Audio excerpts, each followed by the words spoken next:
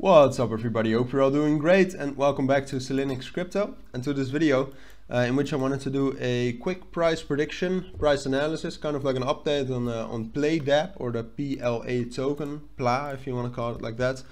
Um, so yeah, I had a massive bull run yesterday, went up from uh, 88 cents all the way up to 1.11 dollars that is.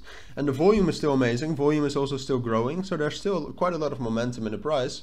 Uh, volume right now is 350 million. Almost the same as the market cap. It's 93 percent of the market cap. Um, so yeah as you can see we managed to reach all the way up to this uh, 1.618 on uh, Binance at least. It doesn't show on coin market cap uh, but then drop down all the way. So I'm, I'm, I'm not that certain about that move. That at least wasn't there on all exchanges um, and after that, I mean, we, we haven't even managed to break 1.07 and uh, I don't think we're going to be able to do that. My analysis, when I did the analysis was we, would either go up to like 1.78 uh, and then drop down uh, or from where we are right now. So as soon as we drop down, that's the main condition. As soon as we drop down below $1, uh, then I would say that it is confirmed that this bull um, bull run or bullish move or spike up is over. Um, if we drop uh, through one dollar, we'll probably find support at 96 cents, 95 cents, and that might actually hold for a couple of days.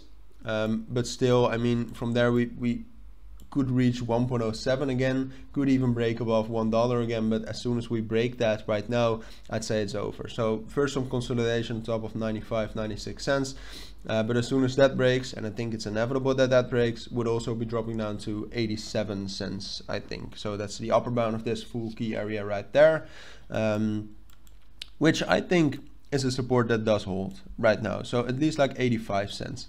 So 85 is more towards the lower bound of that key area. And I think the key area is going to, uh, the full gray area is going to hold. So, um, you know, to be honest, that's still bullish from a week ago. So, um, I mean, it's better to see everything from the uh, bright side, I always say.